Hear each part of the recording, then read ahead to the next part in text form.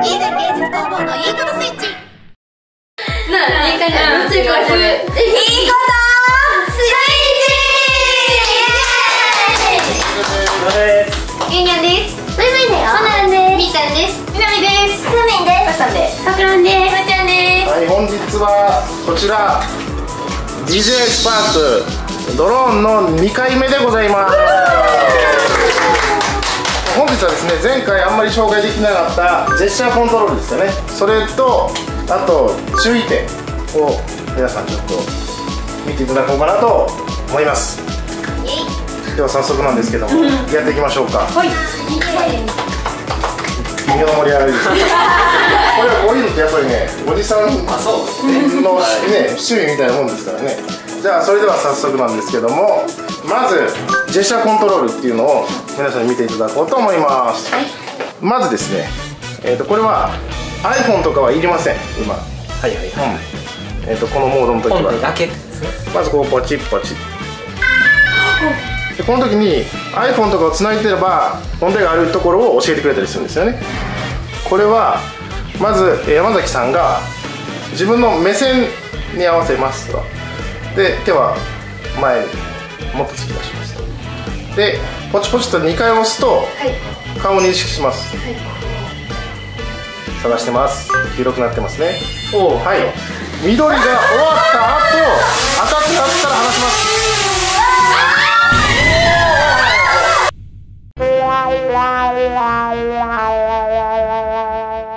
なんでよ。ついてないわ。な。懐いてないな。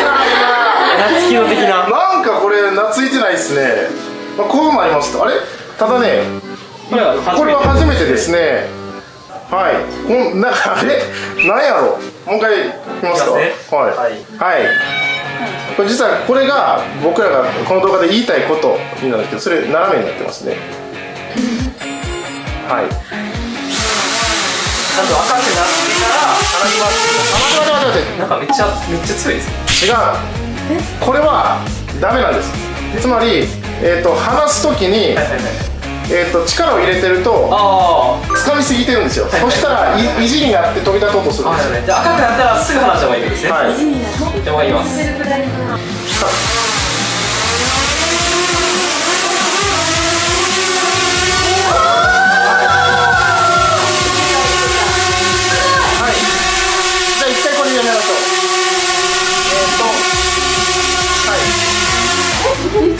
これはあの下にやったらえーっと取れます。これね皆さん、えーっと意外とこの商品簡単にこういうことできんじゃないかって言われてるんですけど、マジで普通にスキルがいります。そうなんですうん。で今の山下君こう怖がってこうのけぞったりとかするっていうのも結局事故のもとなんですよね。で今崎多分山崎さんおそらく結構掴んでたんじゃないですか？赤くなるなってからもってなった時にこういう事故が起きると、うん、ただ公式でもね当然掴みつつっていう話なんですよ、はいはいはいはいこのタイミングがだいぶ難しいっていうのがあって。しかもこれねプロペラガードが今現状日本に入ってきてないんですよね。ね。まあそうか今日入ってきたのが新宿らへんにな。だからめっちゃ危ないっちゃ危ないです。なんで簡単に自撮りしようと思ってる人は痛い目見るぞっていう。ことでございますそしてあともう一個注意点なんですけど傾いてるっていうことがありましたよね。この傾いてるっていうのがこう前に傾いて飛ぶっていう不具合が今ありまあす多分僕らだけじゃないと思うんですけど。あ危ないですね。危ないですね。なので十分気をつけてまっすぐになってるのかしっかり飛ぼうとしてるのかそこら辺ですね。でプラス怖いからって言ってまあ部屋の中で使うからはいはい。下からや飛ばしたりとかするとまた変になるので普通に目線で合わせて離すという。なるほど。それ以外のをやると普通に事故るってやつですね。じゃあもう一回いきましょうか。行きましょう。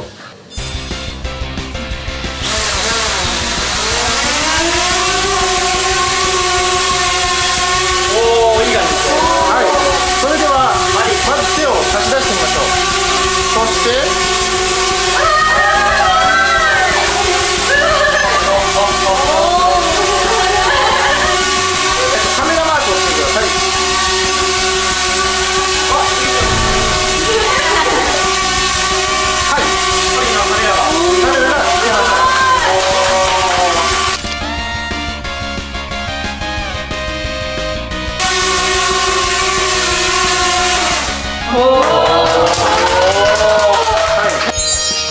でやってはいけないことナンバーワンは今のジェスチャーコントロールの時にバイバイすることなんですよ。これね多分どんだけ普通の家で大豪邸やったとしてしたら話は別ですけど 普通のこの日本の普通の家ではバイバイってやったらあのウェブでもあるんですけどヒュッと後ろにね飛んでいって3メートルぐらいの上から撮影しようとしよるんですよ。だからそれは事故のことですからバイバイは絶対しないように。部屋の中でやるときは今のパームコントロールそしてえーカシャッとそこだけで我慢してくださいっていうことでございますね、そしてですねあともう一つまず普通に自動離陸しますね。でこっからでございます。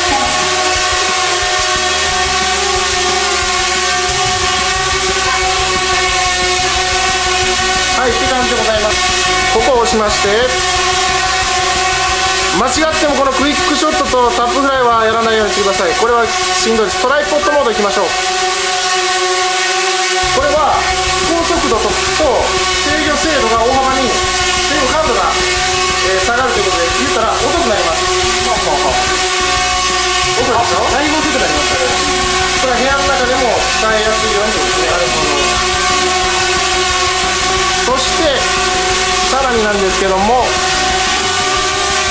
今このモードを切ってここでこの子の顔を認識します。トレースしますさあこの状態でイオニアンは前に出て横に行ってみてください追いかけてください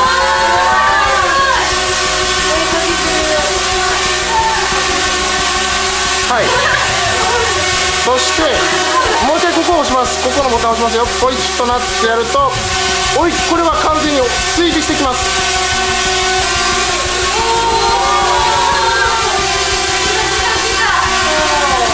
じゃあこれ後ろ姿でもいけるかやってみましょうかじゃあ前に出てくださいじゃあリオには後ろ後ろに出てくださいじゃあ歩いてみてください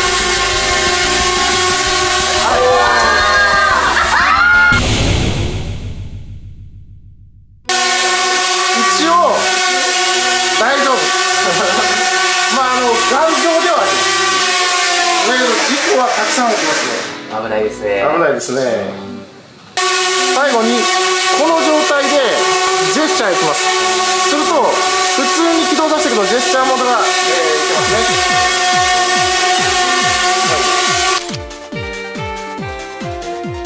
でこのスパークが初心者に、でも使えるぞっていうのはほぼ嘘っていう。であの特にこの飛ばせる場所も限られてますしね。だから十分注意してただ室内でも飛ばせて楽しいとは思うんですけどまあ確実に事故るっていう。ということをこの勝って2日間で思いましたね。だからあのこの動画見てほしいなって思った方は一回考えてみはったらどうでしょうか。だから合室とかそういうのはすごくいいと思います。で僕たちは100%楽しんでありますね。ということでまあこれを使っていろいろとっていきたいと思います。それではまたさよなら。ありがとうございました。